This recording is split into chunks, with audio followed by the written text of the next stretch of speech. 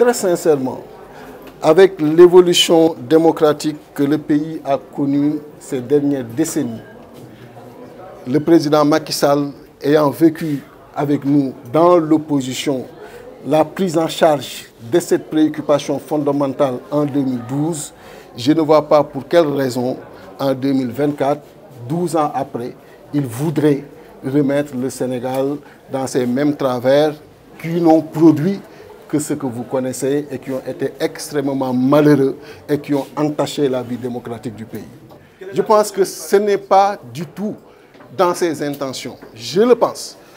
Parce que je ne vois pas comment il pourrait aujourd'hui soutenir une théorie l'amenant moralement, ce n'est même pas une question constitutionnelle, l'amenant moralement à vouloir se représenter en 2024. C'est une question de cohérence politique, de cohérence démocratique, ce n'est même pas une question juridique ou constitutionnelle, ce n'est pas une question de droit.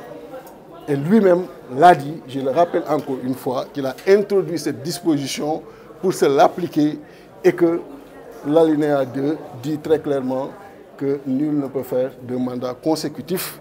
Donc je reste persuadé que ça ne lui traverse pas l'idée